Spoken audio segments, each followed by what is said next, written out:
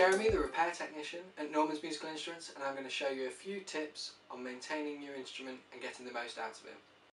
Today I will be showing you how to resolve sticking clarinet keys.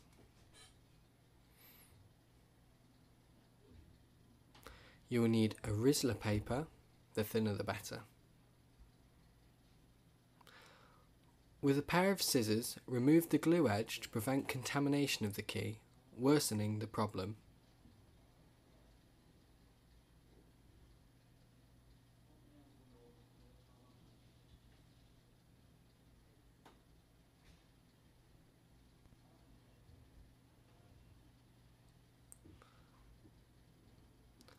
Find the key that you are having issues with,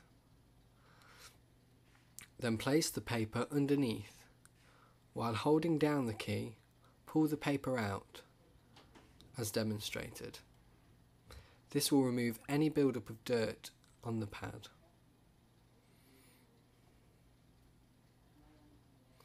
If this is not resolving the issue, then fold the Rizla in half. Slightly wet it